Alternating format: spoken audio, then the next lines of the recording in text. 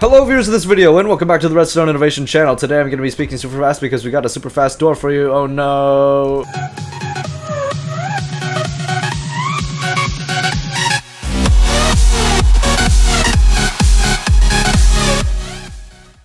Hello viewers of this video and welcome back to the Redstone Innovation channel. Today we've got a super speedy, super awesome 3x3 for you guys.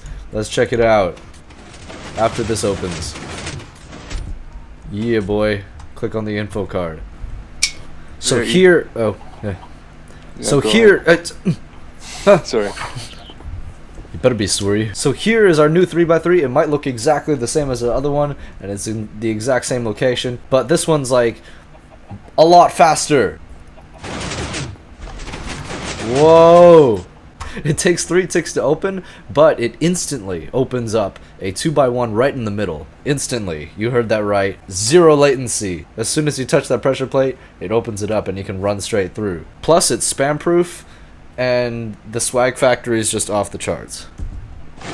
So this one isn't quite as compact as our other one, but it's still very compact. So let's have a take let's have a take a look at that wiring.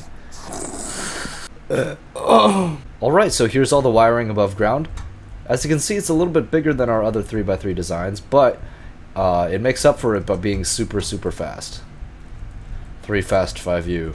As you can see, it's very convoluted. Uh, it's basically all pistons, and uh, but don't worry, I'll show you how to build it, and it'll be awesome. Now, as I was explaining before, there's actually a 2x1 entrance that opens instantly from the very first moment you power this door. And that makes it so you can actually run through the door with a speed 2 potion and it won't catch you at all. So let me just go ahead and grab a speed 2 potion. As you can see I have speed 2. And now I'm going to sprint through this door and you'll see I won't even touch it.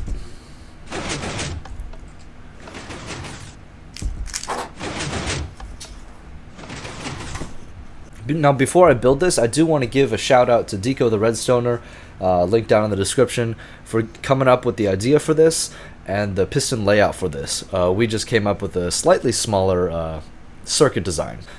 If you remember from a couple weeks back, we had a more compact uh, 3x3 that was faster than the typical 3x3 uh, with the double extender from the top. Um, and you can see that this new door doesn't even compare to the speed of this one. So here's the old door opening to show a bit of a comparison. Now, if you watch carefully, these three blocks right here actually switch while the door uh, operates, which is really interesting. Let me just show that real quick.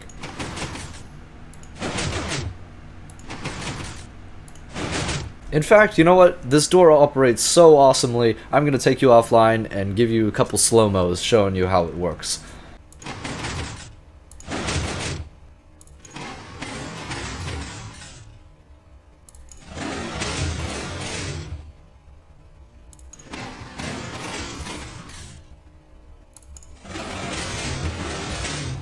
Before I did mention that this door is spam proof, and uh, as is, this circuit is very hard to spam and break.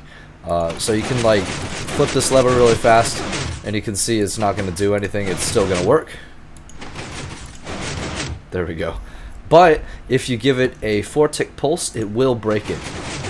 Of course you can fix it, you just have to move this redstone block manually.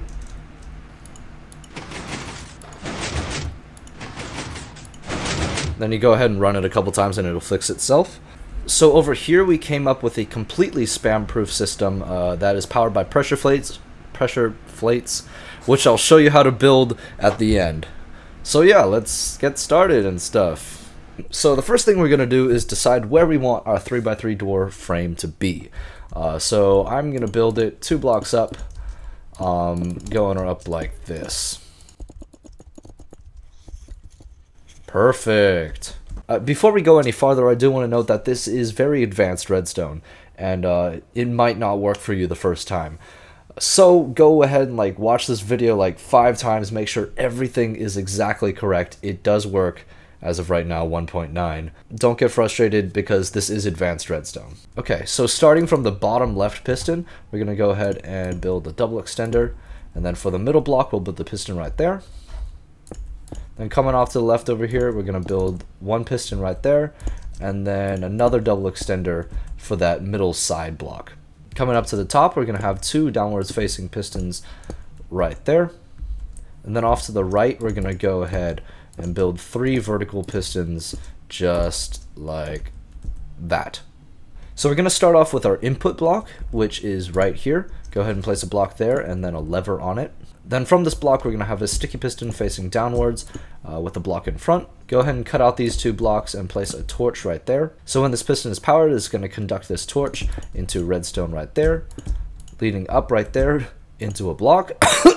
from this block, it's going to lead into another sticky piston right there with a block in front. That block is going to conduct this torch right here um, into redstone right there. This redstone is going to lead back, over, and up on this side. Come back around to the front, and we're going to cut out these two blocks here. Go ahead and place a lever on this, flipped on, and then a repeater in front. Then go around to the back once again. Go ahead and cut out these two blocks. Uh, step down into this ditch and place a sticky piston facing downwards uh, with a block in front. So when this piston is depowered, it's going to power this redstone right here, uh, which is going to go over into this block with a torch on the side. Now we're going to go off to this side and take this redstone, lead it into a repeater right there.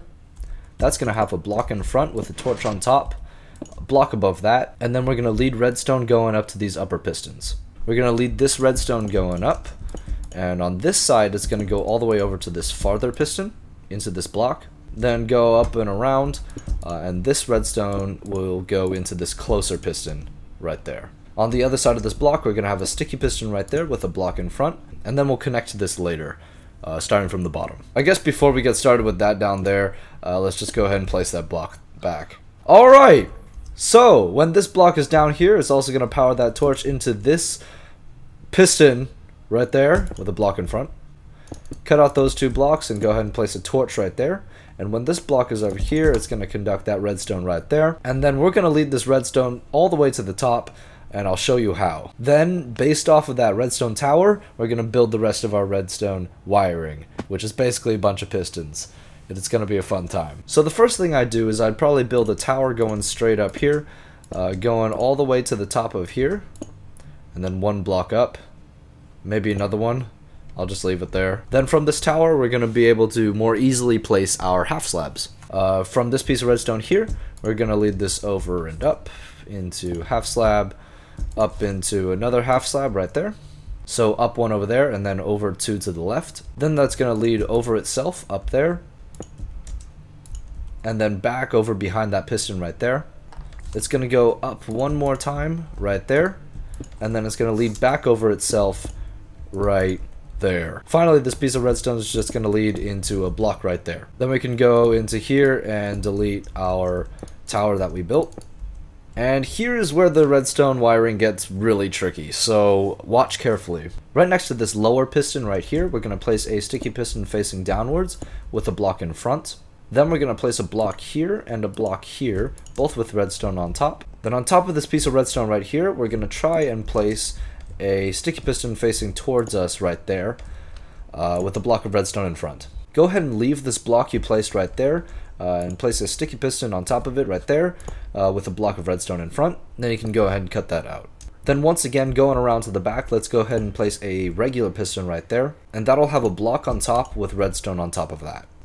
Now we don't want this piece of redstone pointing to that piston right there, so let's go ahead and place a block there and use a tripwire hook to point it away from that. Then going around to the top, uh, we don't want this piece of redstone facing that way, so let's go ahead and place a block there with a tripwire hook uh, right there.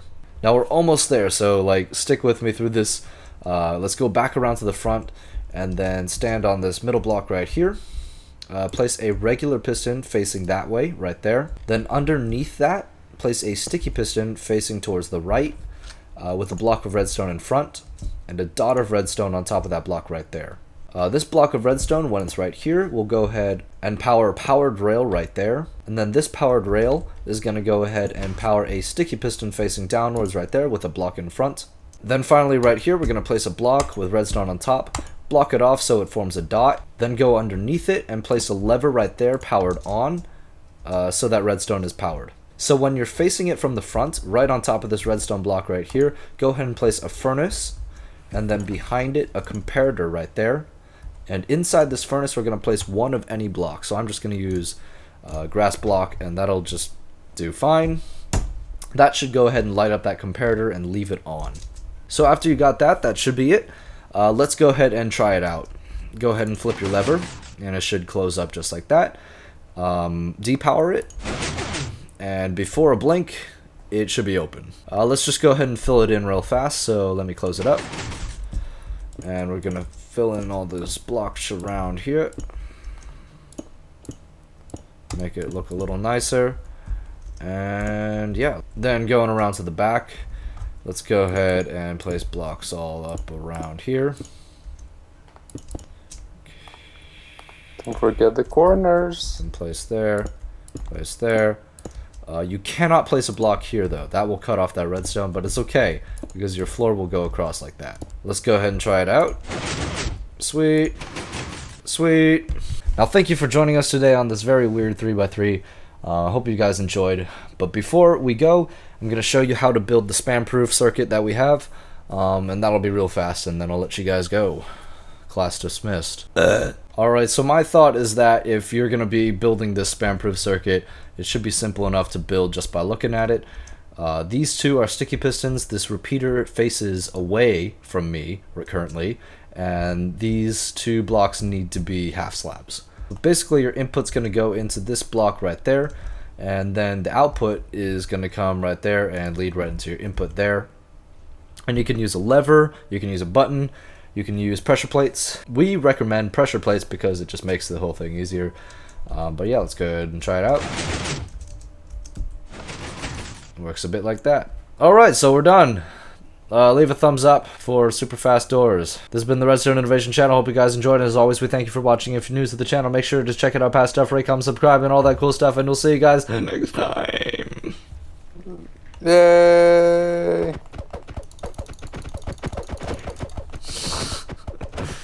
Brilliant. It's all ogre now. Oh, okay.